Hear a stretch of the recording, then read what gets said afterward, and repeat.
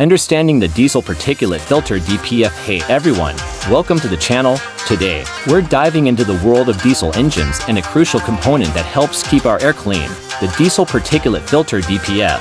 What is a DPF? Imagine your car's exhaust is a smoky dragon's breath. Well, the DPF is like a magical filter that captures those harmful soot particles before they escape into the air. It's a vital part of modern diesel engines, helping to reduce emissions and protect our environment. How does a DPF work? Think of the DPF as a honeycomb structure.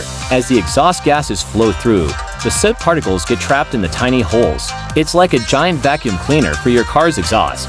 Regeneration, cleaning the DPF. But what happens when the DPF gets full of soot?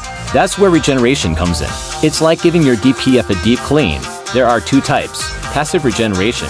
This happens automatically when the engine gets hot enough. The heat helps burn off the soot force regeneration. Sometimes the engine needs a little extra boost. The car's computer will inject extra fuel to create more heat and clean the DPF. DPF problems. What to watch out for while DPFs are amazing, they can sometimes have issues. Clogged DPF. If the DPF doesn't regenerate properly, it can become clogged. This can cause reduced power, increased fuel consumption, and even engine damage. Regeneration issues. Sometimes the regeneration process can be interrupted, leading to problems, EGR valve issues. The exhaust gas recirculation EGR valve plays a role in DPF regeneration.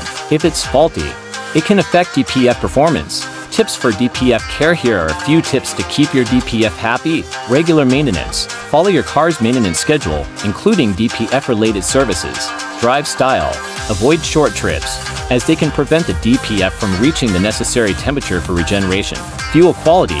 Use high-quality diesel fuel to minimize soot buildup. DPF cleaning. If your DPF becomes severely clogged, professional cleaning might be necessary.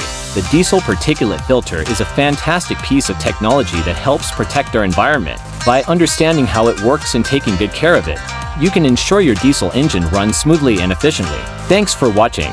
If you have any questions about DPFs or diesel engines in general, leave a comment below. Don't forget to like, subscribe, and hit that notification bell for more automotive content.